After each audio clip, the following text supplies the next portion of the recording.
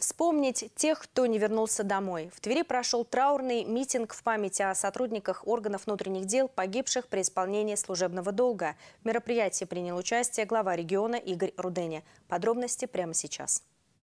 Профессия полицейского во все времена, как и других сотрудников, занимающихся охраной правопорядка, считается опасной и сопряженной с большим риском для жизни и здоровья. Работа сотрудников полиции неразрывно связана с борьбой с преступностью. И рискуя собой ради спокойствия и безопасности простых граждан, некоторые не возвращаются домой. Отдавая свою жизнь, задерживая преступников, предотвращая теракты или защищая своих соотечественников в горячих точках. Сотрудников, погибших на посту, помнят всегда. А 8 ноября их принято чествовать на официальном социальном уровне. Потеря товарищей остается неизгладимой раной, которая не заживает в нашем сердце.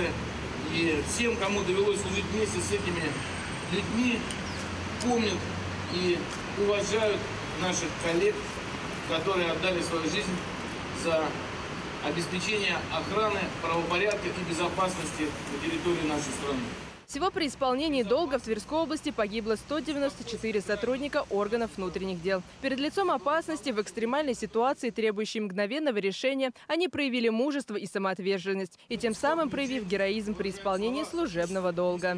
У каждого из тех, кого мы сегодня вспоминаем, была своя судьба и свой подвиг. У каждого была своя черта, перед которой можно было либо отступить, либо шагнуть в вечность. И сегодня их подвиг – яркий пример мужества, отваги и самопожертвования.